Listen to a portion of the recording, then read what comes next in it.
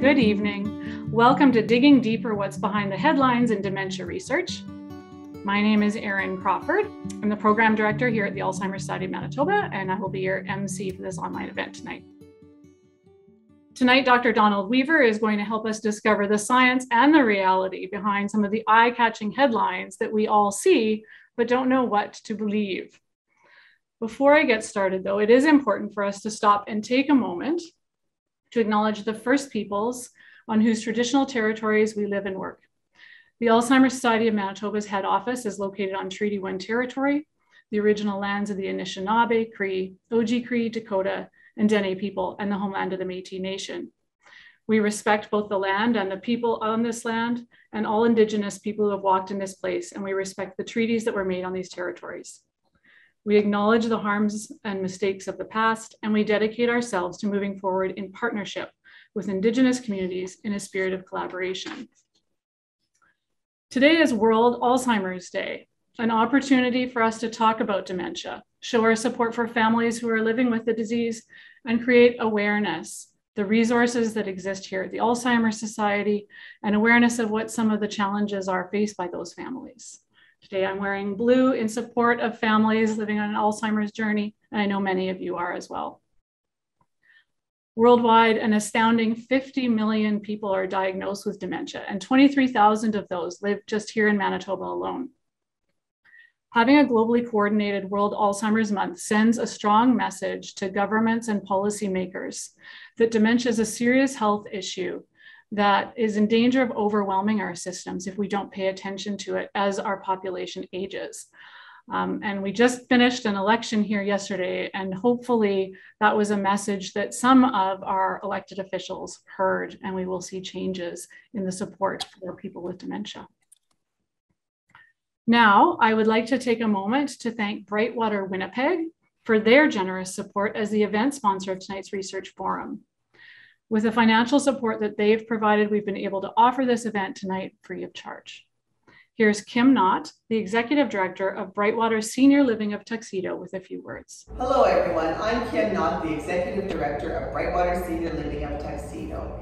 We value our close relationship with the Alzheimer's Society of Manitoba and are especially excited this year to sponsor the Research Forum. I am a registered nurse that have been practicing in long-term care for over 25 years. I know firsthand the importance of the education and support for those living with Alzheimer's and dementia. At Brightwater Senior Living of Tuxedo, we offer independent, assisted, and memory care options.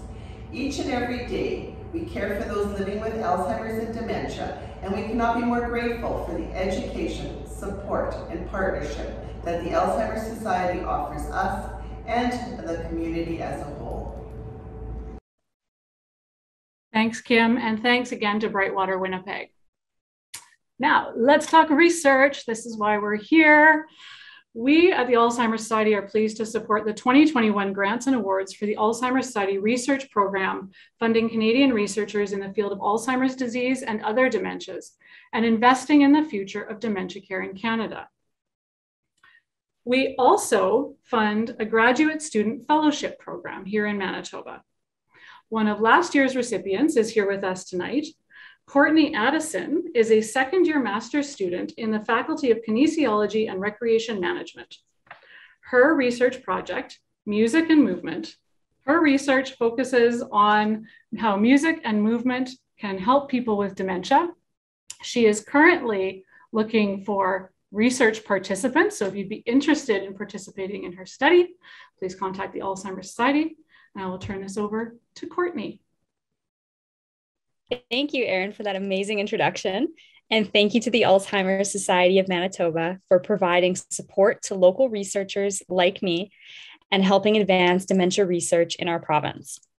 Okay, now I would like to introduce the person you've been waiting for the world renowned and award winning scientist, Dr. Donald Weaver from the, from the Krembil Research Institute, who will take you through some dementia research findings to discover more about the science behind news headlines.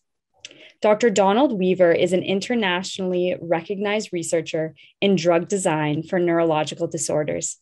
He is unique, being a practicing neurologist with a PhD in medicinal chemistry.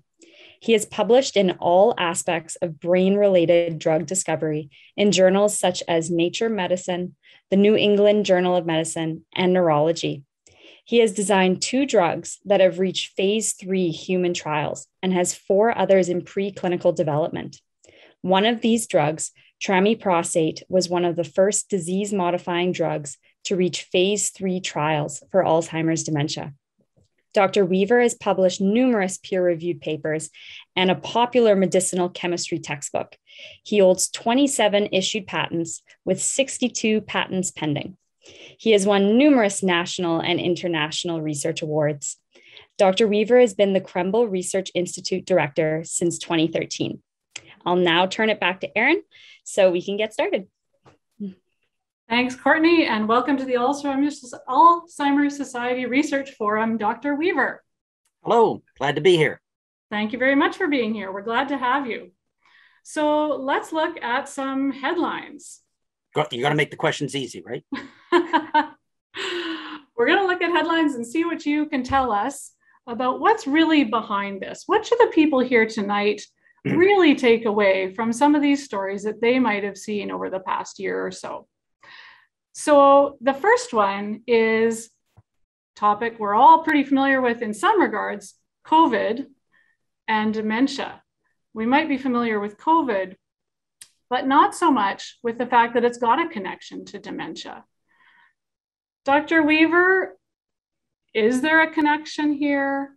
What do we think it is? What can you tell us about this? The Yeah, you didn't start with an easy question, did you?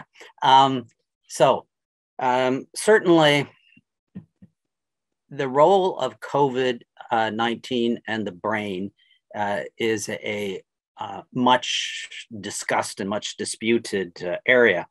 And let's be honest, we've only been in the COVID uh, 19 uh, pandemic for, you know, coming up on two years. Um, and um, so the, the full expanse of it uh, has yet to completely unfold. However, um, I think it is fair to say that COVID um, is a virus that can affect the brain. It's what we call a neurotropic virus. So it's a virus that can uh, get into brain and can affect brain. Um, individuals who have uh, severe uh, COVID 19 infections who end up in intensive care units frequently will have what we call an encephalopathy, meaning um, that their brain is affected. They may be delirious. Uh, they may have other areas uh, of neurologic problems because uh, of the severity of their COVID 19 infection. Um, so, um, and also the, the propensity uh, of COVID to give long term effects, uh, I think, is recognized because of this entity called long COVID. Uh, so I think that you know we're re- we're recognizing that um, it, it's not the cold. It's it's a lot more than that. Um, this this is a nasty virus. This is a nasty virus that can get into a lot of areas. And, and, you know, initially we focused on, on lungs, and everyone thought it was primarily a lung-related breathing thing. Oh, it's bigger than that. It's nastier than that. It, it gets into brain, uh, and um, I mean, certainly, you know, we're seeing people have seizures, people have delirium, people have strokes. That there's a wide range of neurologic uh, uh, and brain complications associated with COVID. Um, and so, uh, part and parcel of this has been um, can COVID uh, have a long lasting effect that sets the person up for eventually having uh, dementia or Alzheimer's disease as a long term consequence of COVID? that is an area that is being discussed. Um, and um, uh, and I, I, must admit that uh, I'm, I'm pleased that just today I had a paper accepted in a journal, uh, and the title of it is The Nth Wave of COVID Will It Be Alzheimer's? Um, because we're talking about, you know, the second wave, the third wave, the fourth wave, and who many more ways we have. But if we look 20 years down the road, it's the COVID that we've just said now, is it going to be rearing its ugly head again uh, and predisposing people to, to get Alzheimer's? Um, we don't know the answer to that yet. Uh, is it a possibility? Yes, it's a possibility. Can I say definitively one way or the other? No, uh, because we just don't have the information. But is this a, a possible thing that's percolating in background? Yep. Uh, and so uh, with that, I will say get your vaccination. Uh, and, um, uh, you know, please, please, please get vaccinated.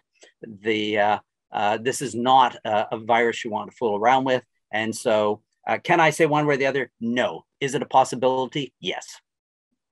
Yeah, I think that that's a really interesting point. I mean, it is so early on that we don't really have the ability at this point to tell some of those long term effects. No. But and, you know, what we're going to find out. We are going to find out. to come. Mm-hmm. Yeah, and interesting for organizations like ours to have information about that so that when we are talking to people down the road who are concerned, as we do, concerned that they are seeing symptoms of dementia or signs of dementia, that that starts to become part of the questions that we ask. Yes. Uh, you know, did you have COVID 19 at some point? And that's a fair question to ask. And I mean, we can't give them a definitive answer, but we have to say that many people have brought this up and it's a point of worry and a point of concern. Hmm. Very interesting. Okay. Thank you, Dr. Weaver. Dawn. Dawn. Dr. Dawn? Just Dawn. Dawn. All right. Well, thank you, Dawn. So before we go to our next news item, we have a poll that I hope can come up for our audience to answer. If you had the chance through a blood test, would you want to know your risk of developing dementia? So I'm going to give people a few minutes, well, not a few minutes, a few seconds here to fill this out. Our early responders were all yes, and now the no's are taking it up a little bit. It's like watching the election results come in. It is like watching the election results.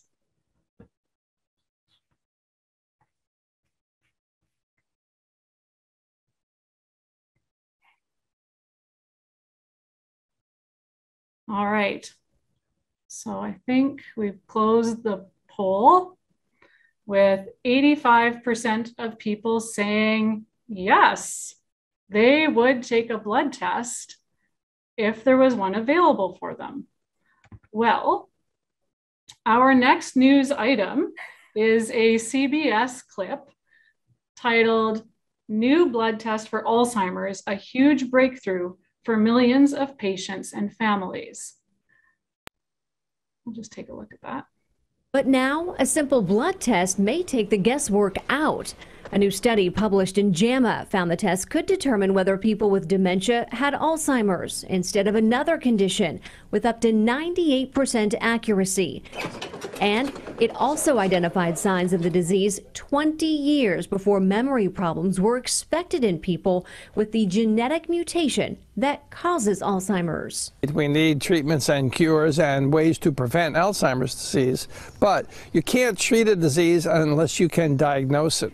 The test detects and measures certain proteins associated with the disease. But even with promising results, local experts warn more validation is needed, and the test isn't ready for widespread use yet. So, interesting dilemma here. I guess, what are your thoughts on this? And how important I get there's there's a lot of threads to this one. Um, how important is an early test and what kinds of benefits and challenges does it present to families, to individuals, to doctors? Um, t- to me, the take home message of that clip was the last statement that um, it needs to be better validated uh, and uh, it may not be quite ready for prime time uh, just uh, just yet. Um, is this a huge step forward? Yes. The um, you know if you look at the World Health Organization's recognition of the top ten diseases in the world, uh, Alzheimer's has had the dubious distinction of being the only one uh, for which we have no definitive diagnostics and no definitive therapeutics. Um, the other issue, of course, um, is that uh, if you're going to treat people, you sort of have to know if they have it. Um, uh, because certainly uh, all Alzheimer's is dementia, but not all dementia is Alzheimer's. Uh, and also, you know, being um, honest here, uh, who knows if really if Alzheimer's is one disease or multiple diseases, and we're just not good enough yet to distinguish between them. Uh, so um, you know, just as it's important that we work on developing therapeutics, it's equally important that we advance the whole area uh, of diagnostics, of figuring out, you know, if people have Alzheimer's or not. Now, the blood tests that are being developed look for uh, minute levels of a protein uh, called amyloid, uh, beta amyloid in the blood. And this is a, a protein, um, and it's made up of little building blocks called amino acids. And there's some that have 40 uh, building blocks and some that have 42. And it looks at both of these and it looks at the ratio between them. Um, and yes, there is undoubtedly a, a correlation. Uh, if you have dementia and you have uh, a high blood level of these, the likelihood that you have Alzheimer's is, is very high. Uh, also, um, as was mentioned quite correctly, um, years beforehand, because let's face it, the, the dementia process has started decades before the first before the person presents themselves to their family physician or whoever you know with um, uh, issues uh, of problems with memory and cognition. Um, and so knowing that the person has an elevated level may be of some benefit. But once again this is an area where we haven't had people who had a high level uh, of amyloid in their blood and followed them for 20 years to see if it really did predict um, you know so it's a little wishful thinking to say, oh, this will predict it in 20 years. You don't really know until you've done the study. Uh, but um, um, certainly one cannot deny that uh, an elevated uh, amount of beta amyloid in your blood would certainly probably suggest that um, you uh, are at risk for developing uh, Alzheimer's disease. Um, and you know ultimately i know where we're going to in tonight we're also going to get to aducanumab. We, we can't avoid that one. Uh, and um, uh, and i think that tests like this are important in finding out people who might respond to that drug because uh, that's a very amyloid focused drug. So you know if if you have uh, an elevated amyloid level then maybe a drug that targets amyloid might be good for you uh, so uh, overall, I think that yes, this is a significant step forward. Um, however, uh, this is an area where, where people are, are, are, thirsty for information and you know things are getting put out there but i think that we have to be kept aware uh, of the limitations of this that it needs further validation etc um, but um, um, yeah it's a, it's a very worthwhile uh, test and I think that ultimately this is a test that will be incorporated into hopefully a battery of tests that people who have dementia and possible Alzheimer's disease receive as we try to figure out what type they have and what is the best therapy for them as an individual. I guess it's probably one of the things about dementia research and, and research in general that is probably very frustrating for people who have a dementia diagnosis now, which is that it's a long game. And so once you have an effective treatment, it's great to have an effective test to diagnose it. Yep. If you don't have an effective treatment, um, it feels less meaningful, but but you've got to ultimately get get both. Yes, ultimately both, and and as some of the people in the chat have been mentioning, you know, this is this is worthwhile for uh, necessarily putting your affairs into order uh, and just appreciating what it is that you have. Information um, is valuable. Yeah, because there's an ethical, an ethic, ethical, or just a question for how you want to live your own life and the information exactly. that you need yep. in order to be prepared and do the planning that is important. Even when the treatment research maybe hasn't gone as far along the road as some of the diagnostic research or as far as you no, it's, it's lagging. dementia might yeah. like. Yeah. Great. Well, thank you very much for that. The next item that we are going to look at relates to heart health. This from the Daily Mail. Maintaining a healthy heart and reducing arterial stiffening may help to prevent dementia in later life study finds. And maybe before we get into this, I'll just mention, I know people are putting things into the chat there and we're moving through the topics, but we will come back to those uh, chat questions after we've gone through all of them. So you won't lose your chance to ask those questions. So just to, to repeat this one, maintaining a healthy heart and reducing arterial stiffening may help to prevent dementia in later life, study finds. So, you know, not, not news that we should be paying attention to our hearts, um, not news that arterial stiffening is a problem, but the connection to dementia. Can you tell everyone tonight a bit more about what we know about that, what we don't, what we should be doing, what what we shouldn't. Okay, um, so the um, and heart health and vascular health is important, most definitely. Um, so a, a, statement that I made just a little bit earlier was that all Alzheimer's is uh, is dementia, but not all dementia is Alzheimer's. There is another subtype of dementia called vascular dementia. Um, your brain loves blood. Every time your heart beats, 25% of the blood that your heart squirts out goes to your brain. A quarter, a quarter of the blood uh, that your heart puts out goes to your brain. Uh, and, uh, you know, if you look, that ain't worth a quarter of your body. I mean, my, my head is not does not constitute one quarter of my body mass, but it's got one quarter of the blood. Um, and so you, your brain uh, uh, when it's working well, has a voracious appetite for blood. Um, and in fact, if we were to take a 100 gram cube of brain, uh, that wants 50, 50, 50 milliliters of blood per minute to keep it happy. And if we start dropping that down a little bit, uh, then the brain doesn't work so well and memory starts to give problems. Uh, and uh, so if we have arteries that aren't working quite so well, uh, they have hardening of the arteries, we have um, uh, you know, issues related to, to blood supply, then this person may be being set up for, for vascular dementia.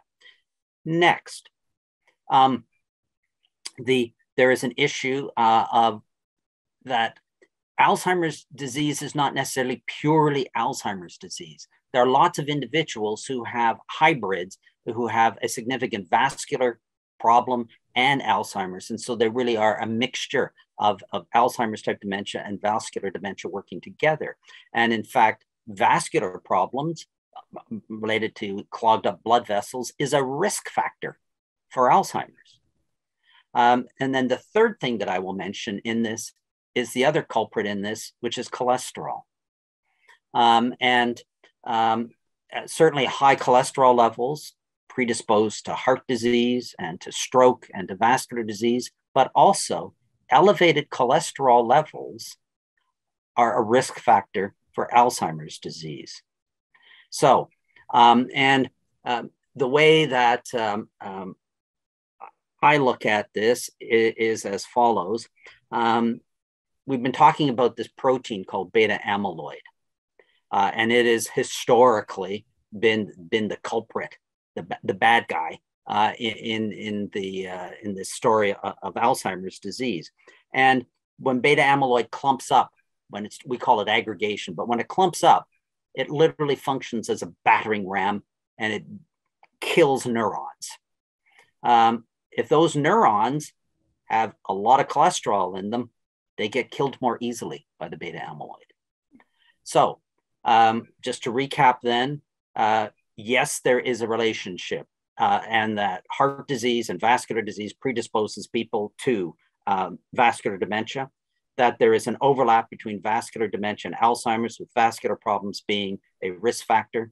And finally, cholesterol, uh, which is an independent risk factor for heart disease, is also an independent risk factor for Alzheimer's disease. So these two, they go together. Uh, and uh, heart health is brain health. The um, uh, and uh, being a neurologist, I, you know, I, I regard the heart as, um, um, you know, as a simple pump with, cardiologists being overpaid pump mechanics. But uh, the, uh, oops, uh,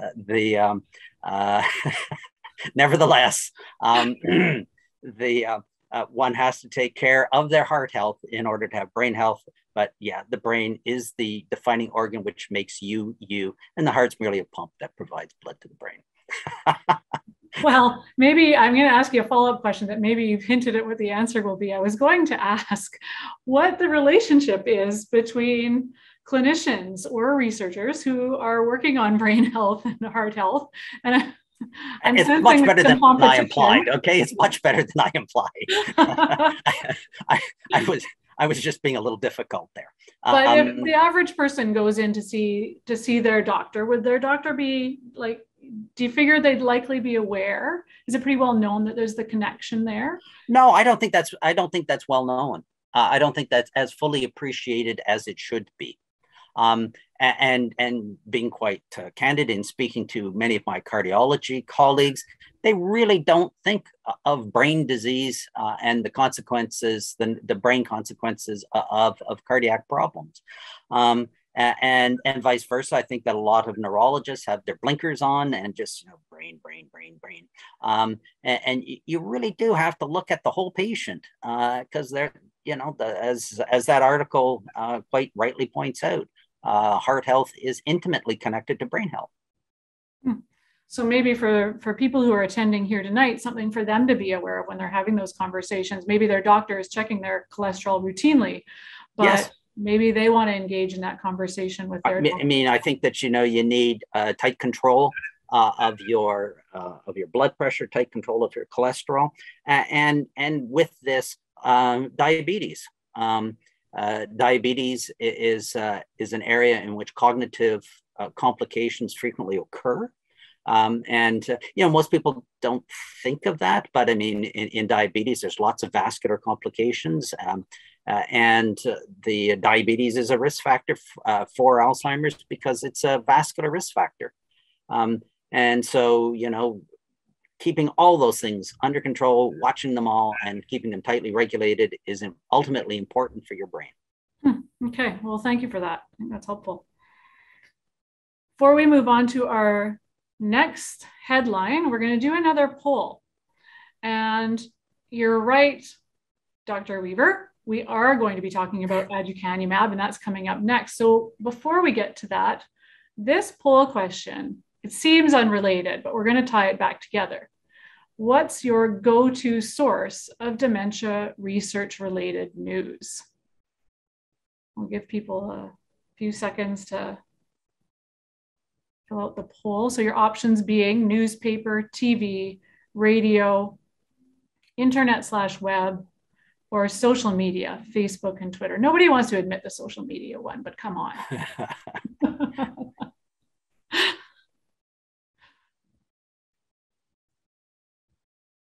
Just leave it for another few seconds. I had someone say to me today, does anybody under the age of 50 use Facebook? Um, no, I, yes, my kids routinely tell me news that they get from TikTok, and I probably shouldn't put it in air quotes because they probably do learn some things there. Uh, and it makes me seem old to put it in air quotes. All right, let's see. So 31% of people from the newspaper, 22% TV, 13% radio, 80% internet, web, 3% social media. So the vast majority of people here, anyways, probably representative of, of a wider population, but certainly here, the vast majority are getting their news from the internet. So our next story is on aducanumab, and we're going to uh, see a headline here. Canadian calls US approval of Alzheimer's drug a light at the end of the tunnel, but scientists are skeptical, according to CBC. So one of the reasons we put that poll there, and we want to talk about aducanumab writ large. Um, I think that's probably something that people, a lot of people here are quite interested to uh, hear your points on and to probably offer some comments themselves. But part of what has happened with the aducanumab story, it seems, is that uh, different sources told very different stories about aducanumab, its potential, its promise, versus some of the controversy that surrounded its approval. Um, and I think that that quite possibly people's impression of it will vary quite a bit depending on how they came to hear about it in the first place. So I guess in addition to talking about aducanumab proper, I'd also be interested in your thoughts on why it's so controversial.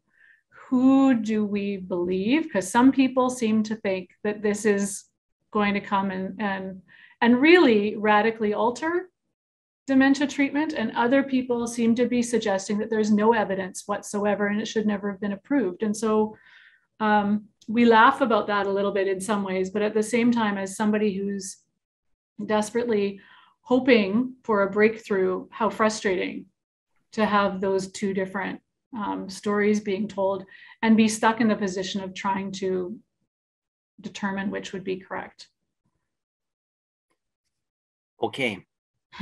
Um, one of the editorials in a neurology journal said that neurologists' response to the approval of aducanumab ranged from this is an opportunity to this is appalling. Um, on that spectrum, I'm not at either end, but I'm more towards the skeptical end.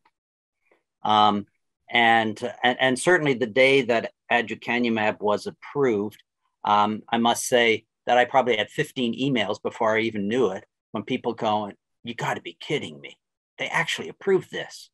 Hmm. Um, and I mean, I knew that it was up in front of an of an FDA panel, and I had basically made the assumption it was going to get rejected.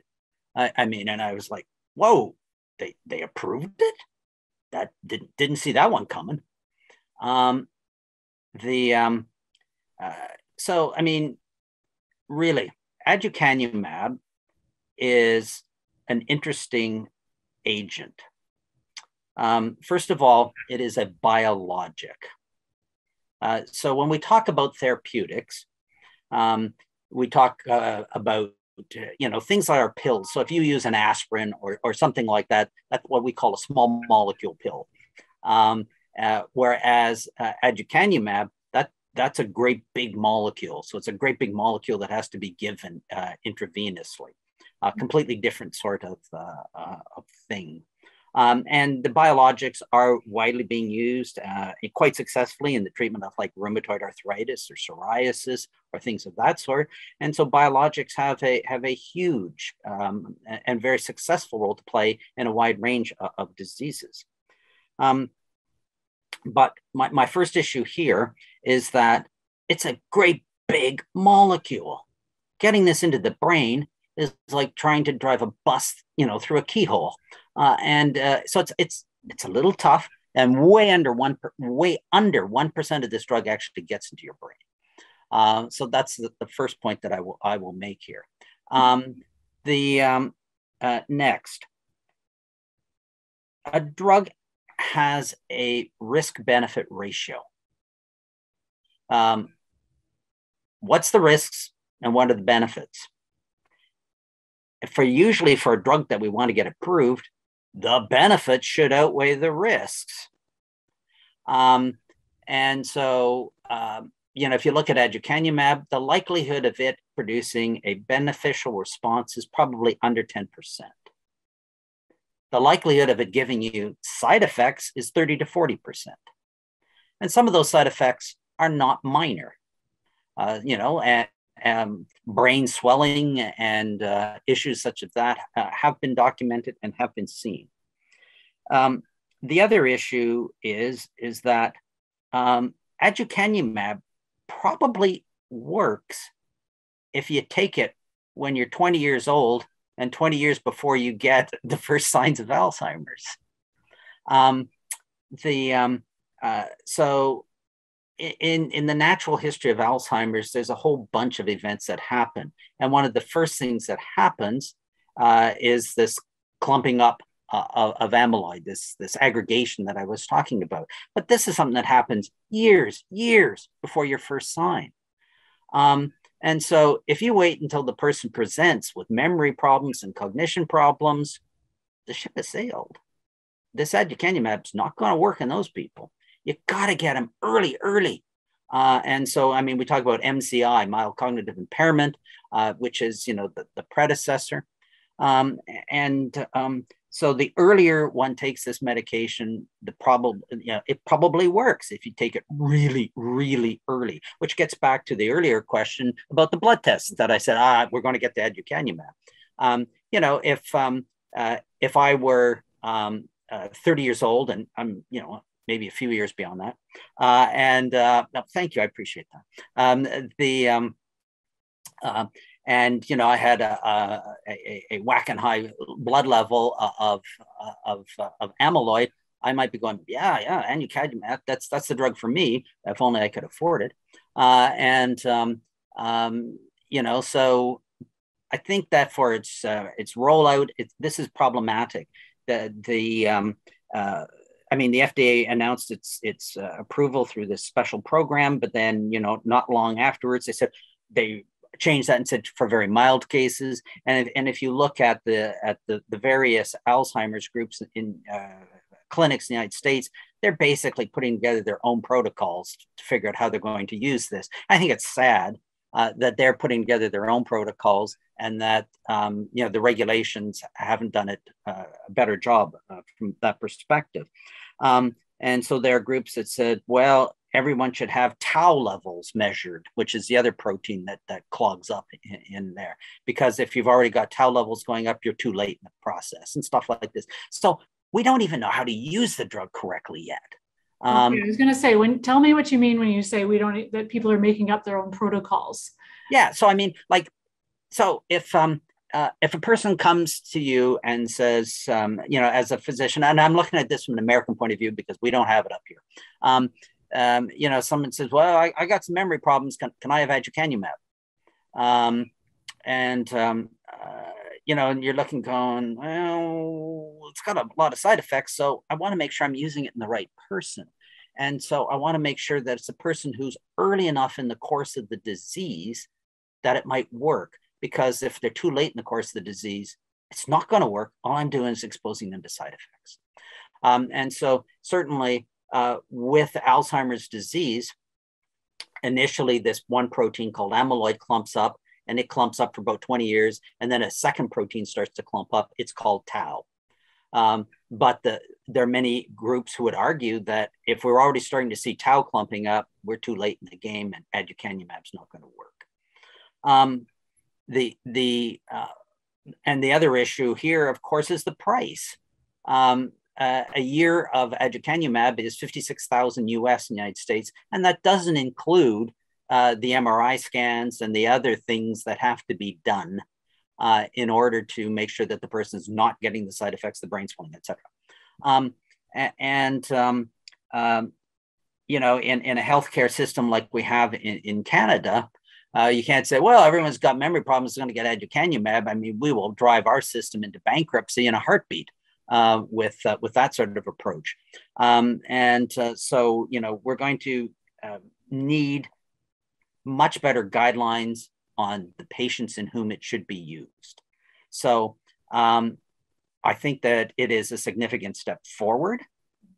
Um, it is light at the end of the tunnel, but that's a tunnel that's pretty long.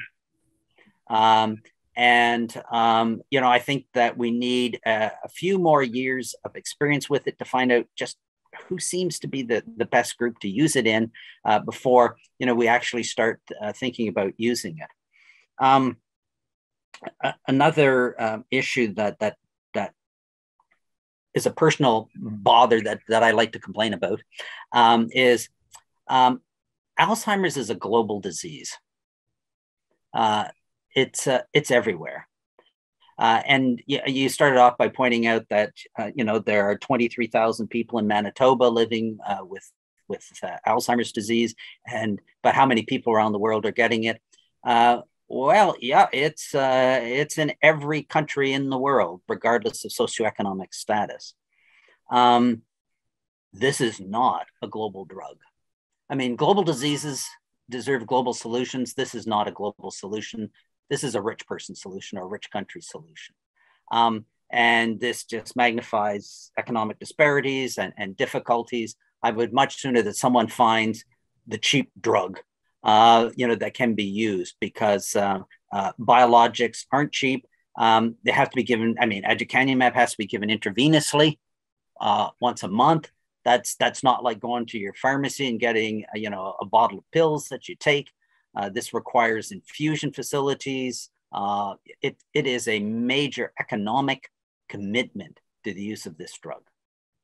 Does the enthusiasm over it speak to the lack of options out there? Of course, yes. I mean, you go, um, you know, if you look at the, the 200 uh, drug trials uh, that, that try to uh, modify uh, the course of Alzheimer's disease beforehand, they all failed.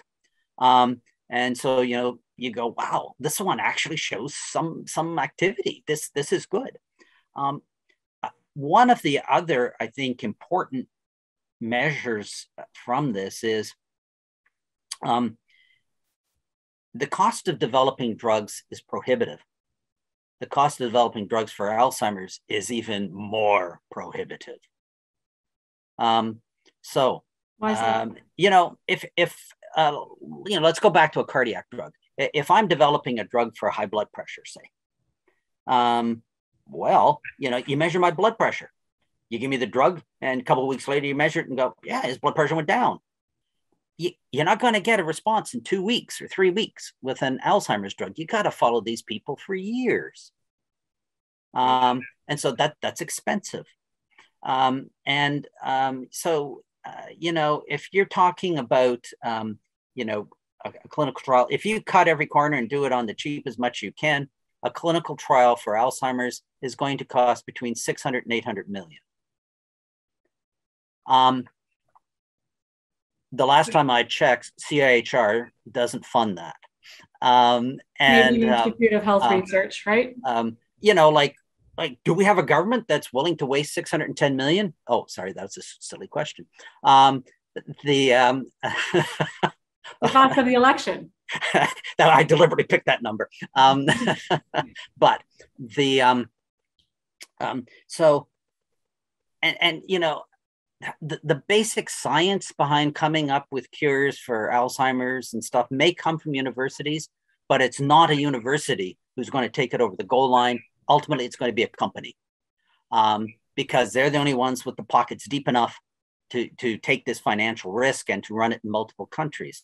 Um, and one of the, the big stumbling blocks that, that we have had in developing drugs for Alzheimer's disease um, is that the, um, the pharmaceutical companies have run away from it. It's, it's, it's the, the failure rates are high, uh, you know, and, and, the risk of failure is just high. And if you have to go and talk to your board of directors and, and to your, you know, your stockholders and say, yeah, let's, let's, you know, throw the dice on Alzheimer's, they're going to go, well, you know, you just wasted almost a billion dollars for something that has a high probability of failing. Why are we doing this? And the fact that aducanumab got approved and Biogen blessed the company because it's still a company that's in there up to its armpits and trying to come up with drugs for Alzheimer's, um, demonstrated that perhaps that you can make money, uh, which is what the drug companies are in it for, of course. Um, and so, uh, hopefully, what this does is is that it brings more investors, more drug companies and more people back into it. Um, and so that, um, you know, this interest will spur additional clinical trials uh, and get the ball rolling again in, in Alzheimer's, which is an area which has been suffering because just the fear of failure is high. Hmm. I think that is an important point because we don't want to leave people um, feeling so discouraged but it is oh, that place where you need to have a vibrant research community yes. research community and research begets research that's developments right. developments and if we keep it going we will ultimately see something that's right i mean to me this this is this is what and this is why i said i'm not at the, the poles of, of the, that spectrum uh, from the point of view of this being a good news story this is a good news story this is an agent which probably works if it's given early enough. We just don't have the ability to recognize the patients that are early enough. But this is an agent which probably works. Yeah. Um, and and we haven't had that before. Yeah. Um, uh, it's just that you know by the time that people recognize that they have uh, symptoms, they're probably too late for this particular agent. Um, and um, uh, so, uh, but you know, wow, this is opening the door for additional research. This is bringing people into the field. This that is a good feature of this a very good feature of this yeah and over the you know the different subjects we've talked about tonight and I know we still have another one there's pieces of puzzles and they're all sort of it's like when you've got all the corner pieces of the puzzle and you can't see any of it yet and they're not very helpful on their own and then all of a sudden you get a couple of pieces in there and they make those parts make sense and they make them have a role And so even if on their own these these research developments aren't as useful as we'd like them to be, if it continues, we will get there. Yes, yes, there, there is light at the end of the tunnel. Light, light um, the and tunnel. um, uh, the um, uh, and, and you know, I mean, I'd like to think that everyone on this call is in some way an advocate for Alzheimer's disease. Um, and, and I think we should be lobbying our, our members of parliament. Uh, we should be out, you know, saying um, that number one, there's a huge need here. Um, and I, I don't think they appreciate the socioeconomic impact uh, that Alzheimer's disease is going to have in the long term. Uh, and I think we need to drive that home. And I think we also ha- have to drive home the, the second message is it's not as bleak as you think. Um, there is hope. Uh, the, field is entirely different from what it was 20 years ago. We're, we're oceans ahead of where we were 20 years ago. We're going in the right direction. And if we make the commitment to Alzheimer's disease that we made for COVID, for example, that we made for um, uh, HIV AIDS, I mean, and look at, I mean, you know, we got a, a whack of drugs for AIDS in a fairly reasonable period of time. We've got vaccines for COVID, but the, the they harnessed so much scientific power for doing this. If they could do this for Alzheimer's, damn it, we'd be a hell of a lot further ahead than we are. Indeed. And I think I'll say, just for, for everybody's benefit here, um, increased government funding for Alzheimer's research was one of the key priorities that the Alzheimer's Society did advance during this past election. I think it is something, you're absolutely right. If everybody here is an advocate for dementia research, um, then there is a call to action for people to demand that there be increased funding so that we can see some of these developments. All right, we have one final item we want to move on to. Uh, and then, like I mentioned, we will come back to a Q&A. Um, some of the questions that you're putting in the chat, we will come back to. So this doesn't have to be the end of the conversation. So continue to put those in there and we will get to those next.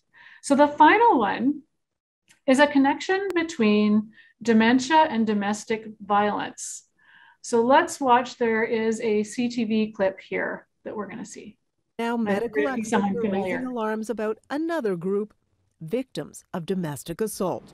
It's been a long suspicion of Don Weaver that battered women are at higher risk after seeing several with Alzheimer's. And their children would say, Mom was struck by dad many years ago. Do you think that that was a contributing factor to our mother getting Alzheimer's disease? It prompted him to conduct a small study in 2006, finding women with dementia were indeed more likely to have been physically abused. But little has happened in the decades since. I do find it frustrating that this is an important problem, and it's an important problem that requires additional evaluation and additional study.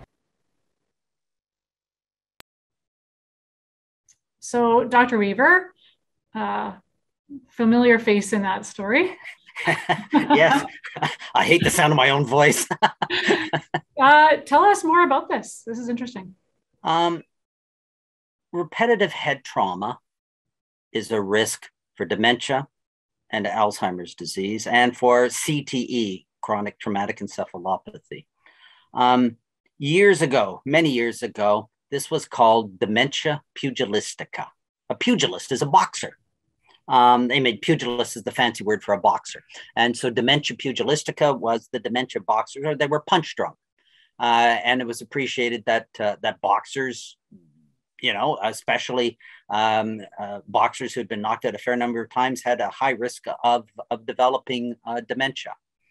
Um, and if you looked at the boxers who developed dementia, they tended to be low in their weight category, uh, to fight more often, and to have been knocked out more often. Um, so if we now turn to domestic violence, the domestic violence is a much larger problem, I think, than is recognized. Um, depending on which study you see, uh, but uh, I mean, uh, the number that that I um, looked at was probably in about 17% of relationships, there's some degree of physical assault against the woman. Um, that's pretty high, 17%. That's unacceptably high, of course. Um, and if you look in general, there's a weight disparity, just like in the boxers. I mean, in general, um, female weighs less. Uh, and I mean, if we look at, at a not, you know, unfortunately, not a, an unusual story, that there is a particular abusive relationship where once a month or once a week, um, you know, fueled by alcohol or whatever, uh, problems arise at home and, and, you know, she is struck uh, and maybe uh, have concussions and, and, whatnot. So this is the exact same thing as, as boxing. Um, and so, um, uh, you know, so what we did is we uh, looked at uh, a number of women presenting with Alzheimer's disease and matched it uh, with an age uh, match group of women presenting with stroke. And there was a whole lot more domestic violence uh, in, in the Alzheimer's group. So, you know, y- your brain is precious. Um, yeah, I, I, said before, you know, it's it's what makes you you. It is, um, uh, you know, that to hell with your fingerprint. Uh, the, the, the, the gyri of your brain are, are, are uniquely yours uh, th- those 85 billion neurons and the network that they make is why I'm me and you're you. Um, and, and um, it doesn't like being sloshed around. It just doesn't like it. Uh, and um, the, um, uh, you know, so uh, this is not merely a problem for football players or hockey players. Uh, this is a problem for anybody. Um, and uh, and in fact, you know, if you look, um, concussions in say women's sports are probably more frequent than they are in male sports. Um, the um, uh, you know um, concussions in uh, women's basketball are actually fairly common, and um, you know concussions from domestic violence is also fairly common. Um, and you know we just can't have that because that's another risk factor for Alzheimer's. And aducanumab and all the problems with it, the diagnosis and all the problems what we have with it. Let's face it, the best thing we have right now is not getting it.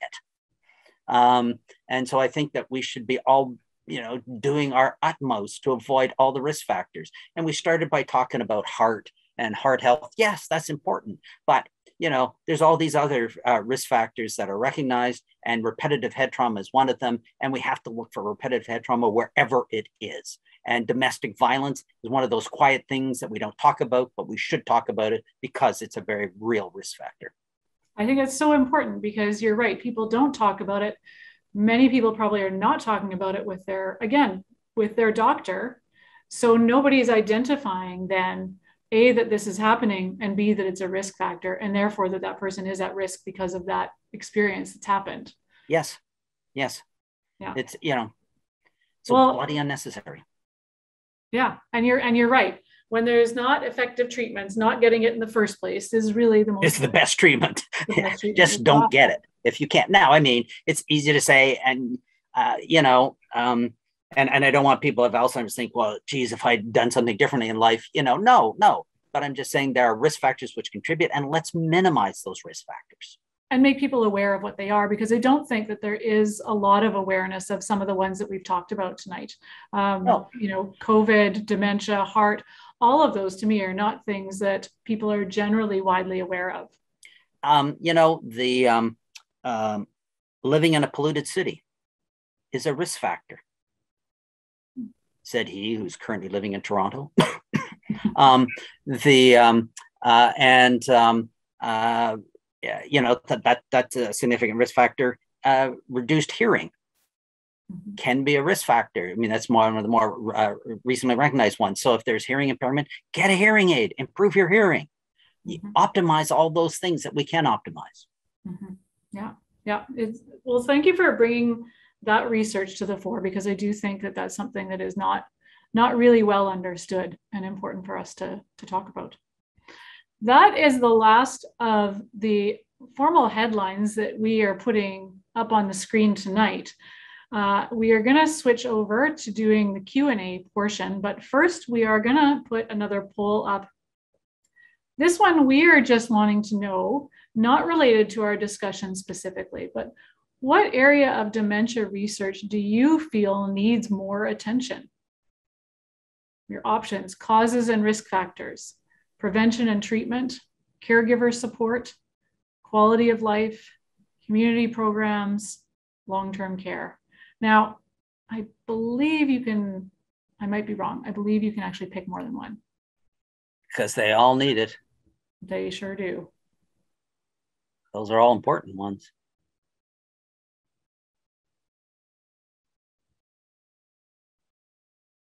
I'm sorry, but I haven't got the poll on my screen. Mm, I'm not sure why that would be. Depends which browser you're using. Probably. Well, it's okay. It, the poll isn't, we're not using the poll for anything um, informing more of this discussion tonight. It was more for our interest in understanding what people see as priorities.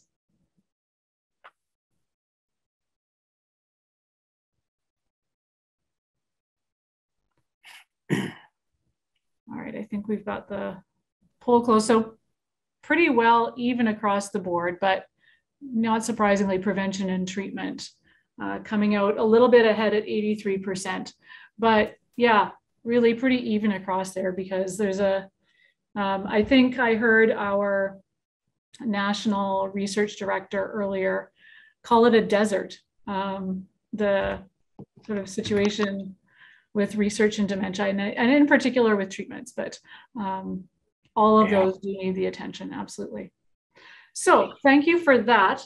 I'm going to take my glasses off so that I can read up a little more closely at what some of the chat questions are.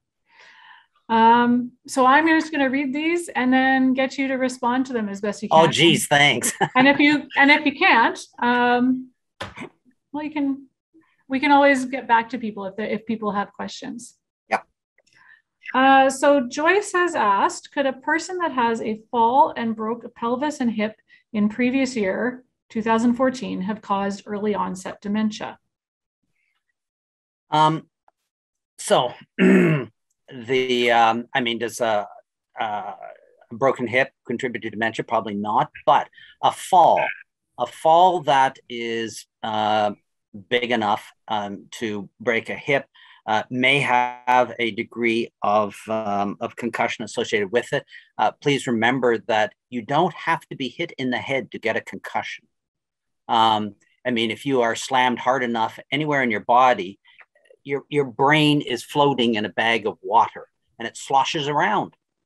Um, and uh, so a major fall can give you concussion, which can lead to, to other issues. But to be, um, um, I think much more likely what we see, and I mean, we see things like this not all the time, not, not infrequently in the clinical setting, is that the person may have had an underlying cognitive problem and mild memory problem, but was coping uh, and it was there, but it was just under the surface and hadn't been noticed. And, and something like a, a, major fall, which puts additional stress on them in terms of self care and other issues, has, has, has brought it to the foreground and has unmasked uh, what was probably there already underneath the surface. And I think that that is more likely to be the explanation. But as I said, uh, a significant concussion in, in an older person can lead to cognitive issues, and a fall big enough to break, fracture your hip could uh, uh, lead to a concussion in those in that regard. Okay. Um, we're kind of going all over the place a little bit in topics here. So oh, Barbara, Barbara has asked, are there as many people with Alzheimer's as there is with cancer? Is it poorly funded because cancer has better marketing? Um, okay. Um, I mean, it's tough to say with cancer because um, there uh, there are so many types of cancer. Uh, you know, there's bowel cancer, breast cancer, prostate cancer. You can go through, uh, and and those buggers fundraise for all of them. Um, and um, you see what we just do globally, Alzheimer's and dementia. Um, the um, uh, so um, I, what are the issues? I think the issues are first of all, um, that um, uh, cancer is more, I mean, I'm being really blunt and cold here. People say cancer affects younger people, and therefore uh, we should be putting more effort into it. And I mean, I hear that all the time, bugs me to no end. But they go, well, you know, like a 20 year old can get cancer, whereas you know, and, and therefore should we be putting more money into a 20 year old versus an 80 year old in terms of dollars and cents?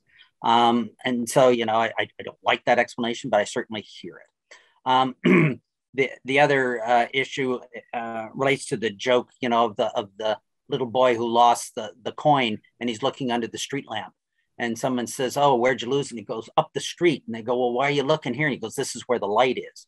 Um, and um, uh, when it comes to cancer, uh, they've got lots of approaches. They can do lots of things that work, and success breeds success a lot of drugs that work against cancer. And so if you're a researcher, you're going, hmm, you know, if you're brand new into research and you're making drugs, you go, can I go into cancer where I have a shot at coming up with something, or should I go into Alzheimer's, where my likelihood of failure is 98%? Um, and so, um, uh, you know, it just, uh, cancer has uh, traditionally got more money. Uh, and I think that, you know, the, the statement that I made that, you know, I would hope that everyone on this call is an advocate and this is one of the points. This is the exact point we should be making that cancer has done quite well because it has had huge amounts of money pumped into it. And the same payoff will come if, in Alzheimer's if we have the same sort of, of uh, you know, widespread commitment, both in terms of, uh, number of researchers working on it, number of research dollars going into it. So, uh, no, from my point of view, Alzheimer's is a much bigger socioeconomic problem than cancer uh, but cancer has traditionally enjoyed much better funding. All right, thank you for that. Another question is Alzheimer's hereditary? Our family, this is a question from Joyce, I should say, is Alzheimer's hereditary? Our family has several members on both sides diagnosed with the disease. My husband has a shunt already, but also has a blocked artery in his neck. Will we see the disease advance more quickly? Has stents in his heart as well? Um, so you don't know. Um, and uh, you can't jump to any conclusions. All you can do is, is watch and, and wait. Um, the um, is it hereditary? Um, a very small percentage of it is. Uh, so probably about four, five, six percent uh, of Alzheimer's ultimately has a significant hereditary component. Most of it is what we call sporadic, uh, and um, I mean it happens. Bad things happen. Um, the um, so um, you know, no, it it is not necessarily uh, her- hereditary. Um, the other issue that I will mention is that I was also talking about, you know, is is what we call Alzheimer's one disease or more than one disease. Uh, and at a fairly crude level right now, we do talk about young onset Alzheimer's disease and late onset Alzheimer's disease. Late onset being typically over 65, uh, but usually, you know, over 70. Uh, but um, uh, young onset tends to be, you know, people in, in their 50s. And, you know, I even have some patients in their late 40s uh, with young onset. And it is the young onset ones who are more likely to have uh, one of the uh, genetic um, uh, components to it. And certainly, if you're looking for the young onset ones, uh, presenilin 1, presenilin 2, APP, these are the sorts of genes that, that one gets identified. Okay, thank you. We had a few different questions um, related to genetics, uh, wanting to know how important the genetic link is. Some Barbara saying, I have a family member with amyloids. Is this the same? Is this something that is the same as the amyloids in Alzheimer's? Um, and so um, amyloid is a term for any protein that clumps up and gums up. Beta amyloid is the amyloid that is involved in Alzheimer's disease. But there is a disease called systemic amyloidosis, um, where individuals get amyloid that could uh, clump up and affect their heart, their, their kidneys, uh, and, and other organ systems. And be, if a person has systemic amyloidosis, meaning not brain, but elsewhere in the body. And they have systemic amyloidosis that may have, say, caused um, uh, kidney problems, renal problems. That does not imply in any way, shape, or form that they are at risk for cerebral amyloidosis, beta amyloid amyloidosis, or Alzheimer's disease. Ah, okay. Well, there we go. Christine has also asked, separate topic, is it only possible to confirm an Alzheimer's diagnosis after death? 100%, yeah. Um, the uh, but I mean, let's face it, we're getting a whole lot better at it now. Uh, and um, um, so, you know, historically we talked about possible Alzheimer's and probable Alzheimer's and definitive Alzheimer's. Um, since we do not have the blood tests, we don't have all of those.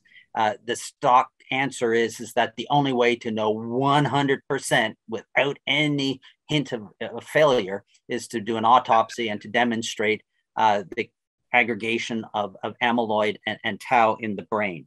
But with current um, diagnoses of, of doing MRIs, and there's nothing characteristic about an MRI uh, about Alzheimer's. So I'm, I'm, not saying you can diagnose uh, uh, Alzheimer's on an MRI, but um, shall we say you can diagnose the vascular problems and all the other problems. So if you do the full spectrum of things, you're way more than 90% certain in your call of Alzheimer's now. Hmm, okay. Um, Reed has asked a question. This may be outside your bailiwick. Uh, I can make but, it up. But it's interesting, related, I think, to our first our first story on COVID. Was there an increase in dementia after the Spanish flu or after SARS or MERS? Uh, so after the Spanish flu of 1918, um, there was um, a, uh, a, a post-viral encephalitis that did occur. Uh, and it was more associated with movement disorders. Uh, and so there was definite um, uh, problems with Parkinsonism. Uh, so, like a Parkinson's disease like syndrome uh, has been implicated and related to the 1918 flu pandemic. And associated with that, you know, there, there is some overlap between Parkinsonism and, and cognitive issues. So um, it, it's not a clear cut dementia, it's not a clear cut Alzheimer's, uh, but um, there, there was some uh, implications around a post encephalitic um, Parkinsonism that was associated with the 1918 flu pandemic. And uh, looking at other um, uh, things related uh, to coronavirus, um, the uh, so MERS and SARS and, and, and issues like that, um, there, there thankfully there wasn't a huge numbers of cases like like we're dealing with with covid uh, and um, uh, did uh, certain individuals have neurologic implications? Yes because uh, this is a virus that likes brain uh, but to date there's no definitive evidence suggesting that dementia is a long-term consequence of those Hmm, interesting. And there's another one that's sort of uh, similar, and I'm not familiar with this one, but can California encephalitis lead to frontal temporal dementia? I don't know if you're um, Good question. And I don't know the answer to that. Uh, I mean, uh, look at it this way um, anything that is a significant insult to your brain can set you up for long term cognitive problems. Uh, and any major encephalitis certainly can do that. A different set of um, health factors that somebody's asking if they can contribute. Giselle is wondering her sister led a very healthy life but suffered from osteoporosis, Paget's disease, and hyperthyroidism. Can these diseases have contributed to her getting dementia in her early 60s? Um, so uh, osteoporosis and Paget's disease are, are both primarily bony diseases. Uh, and uh, so to the best of my knowledge, no. Um, thyroid. Um, the uh, anybody who's been um, wonderfully hyperthyroid likes it. Um, the um, uh, you know if, if you're running a slightly high thyroid level, life's good. Um, uh, you don't need as much sleep. You can sit down and eat that extra large pizza and not put on any weight. Uh, and um, um, so there are receptors in your brain for thyroid hormone. Um, and if you're running hyperthyroid, you have too much thyroid, you tend to think more quickly uh, and um, you know, it, it, it's not a bad state to be in, I am told. If you're hypothyroid, you tend to be slowed down, more given to depression, more given to cognitive issues. And so um, the, the, the, the level of thyroid hormone in you can affect cognition. Whether or not it's a risk factor for Alzheimer's, I don't know. I would suspect not, but, but fluctuations in thyroid hormone certainly can affect cognition and memory.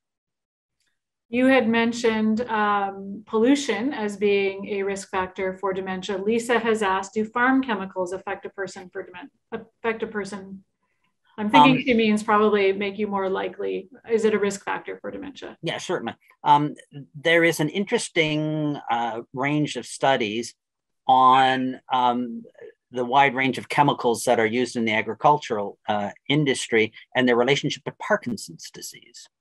Um, and so uh, there certainly is, uh, you know, some uh, concern that um, exposure to certain of the agents that are used may predispose to, to Parkinsonism uh, and to some chronic neurologic problems.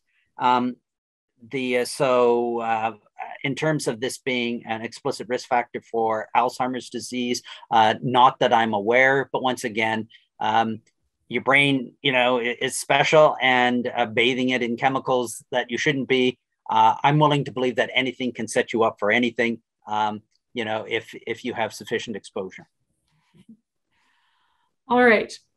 I think that I am going to do one more question and then wrap up our Q&A because we're, I know there are still a number of questions in here, but we uh, getting close to our, our time. There's been a lot of uh, great questions. I mean, I've been reading them, and sometimes I just want to go yes, no, maybe. You know. well, I mean, go ahead and do that. Like, you certainly can. Up, do, but uh, a lot of them are related to um, causes, right, and causes yeah. and risk factor, yeah. kind of stroke. And, and it's tough. Who knows? I mean, oh, I, I sorry, I, I, will. I saw one interesting question. Yeah, go for it. Um, about anesthesia. anesthesia. Okay. Someone posed a question: uh, Is is anesthesia a potential risk factor? Okay. Um, that is a very interesting area. Uh, and um, um, the uh, so exposure to general anesthetics has been demonstrated in many animal in animal models and experimental things to promote the clumping of amyloid and tau. Hmm. Um, yeah. And so there is a, a rich anecdotal literature out there of individuals who say may have had MCI, mild cognitive impairment, who had a general anesthetic, and afterwards, the, the dementia took off. Um, the um, uh, so um, you know there there is a, a growing literature uh, that um, uh, you know exposure to general anesthesia in, in susceptible individuals um, uh, may, may indeed uh, be a risk factor. Um, and so, you know, I, am always um, saying, you know, if I need an operation, uh, can you do it under local? Uh, yeah, if, if at all possible, I want to I want to avoid general anesthesia. Interesting. Okay, I know again. the same would not be the same for a spinal. That's what I'm saying. General general anesthetic. So uh, having a spinal, having regional anesthesia, you know, if you are older, avoid general anesthetics. Go for regional anesthetic if you can. Huh. And again, of course, the anesthetists are going to hate me for saying that because they're a whole lot harder to do, and they're going to go bloody neurologist. Uh, but um, uh, um, uh, but you know, I don't care. the uh, you know, short of opening my head or my chest, I, I would want to prefer. I would personally want to avoid general anesthesia. Okay, that's good for that's good for us to know because not something that everybody might be considering when they're presented with those options or even initiating a conversation with their doctor to see if there's different options sometimes, I would imagine. All right. We will just come back here tomorrow night and answer the rest of the questions, right? Everybody free tomorrow? We'll just come back. No.